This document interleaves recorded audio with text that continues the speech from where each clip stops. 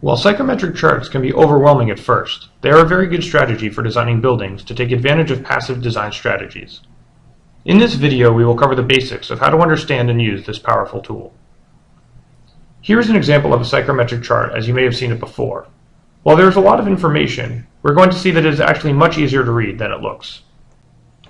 During this video, I will be using Autodesk Ecotect's psychometric chart tool, but these strategies apply to any psychometric chart tool you choose to use.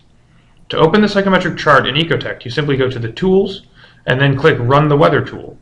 After that, you select the Psychometry function. To understand how this chart functions, it is important to understand what the axes on the chart mean.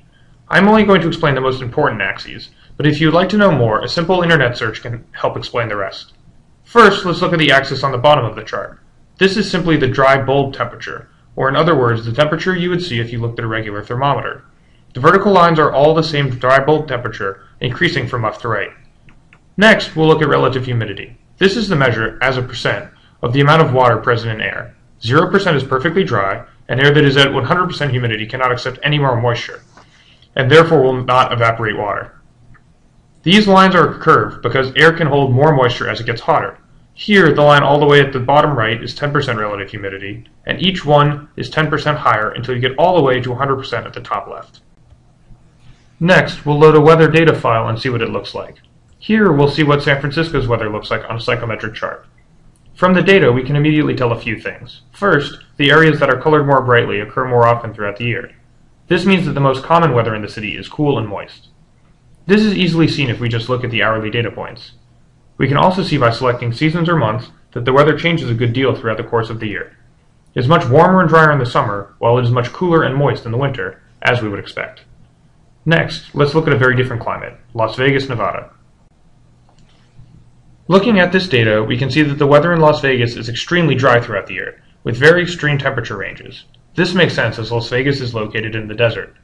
We can also see the massive differences between the very hot summer and quite chilly winter. Next, we're going to see how passive design strategies can help increase the comfort of people in these places. Let's look at San Francisco again. It is important here to understand the yellow comfort box. This box represents the range in which building occupants will be naturally comfortable without any passive strategies or mechanical systems. This will change somewhat for different locations and different times of year, as people will wear different clothing in different climates.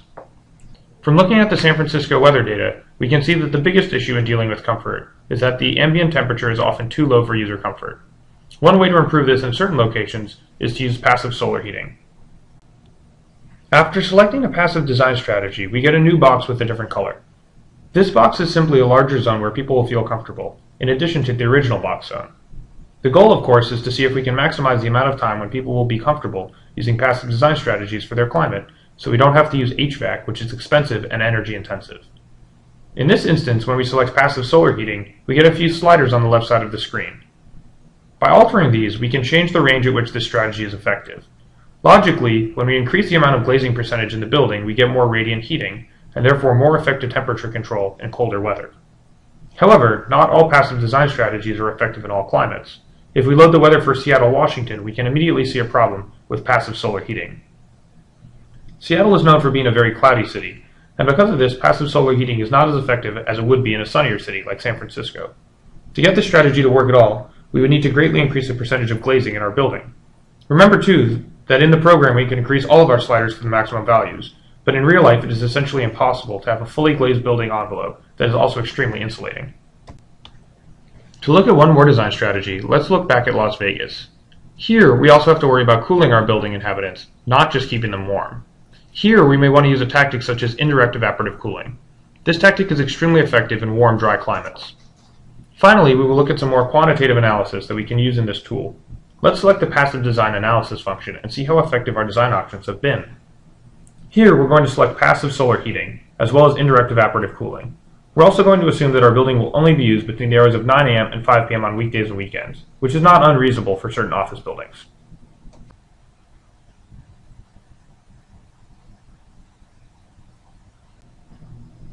On the results screen, we can see our design choices have been quite good. The fat yellow bars are the occupancy comfort percentage, without any passive design strategies, while the red bars are including our design.